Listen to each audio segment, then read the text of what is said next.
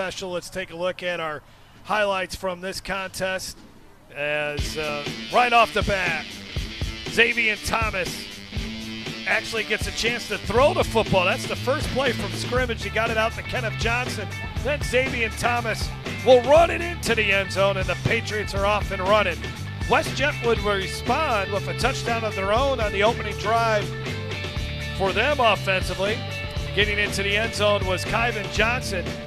And then on the run here, Charles Coleman running hard into the end zone for a score.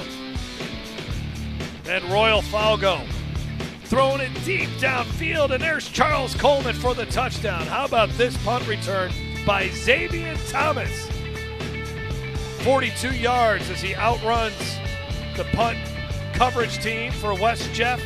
Scampers into the end zone, but not to be denied. West Jeff, big play coming up here from Joshon Barbie. Kickoff return for a score. Bucks trying to hang into this football game. Hard run here by Falgout in the fourth quarter, or on fourth down and one. Again, West Jeff, Caivyn Thomas, or Caivyn Johnson hitting Kerry Newman for that score. As West Jeff got it within a touchdown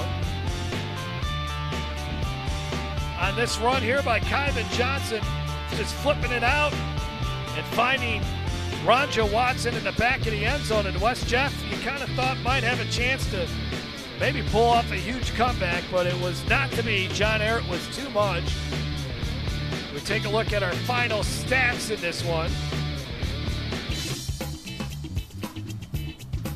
438 total yards for John Ehret.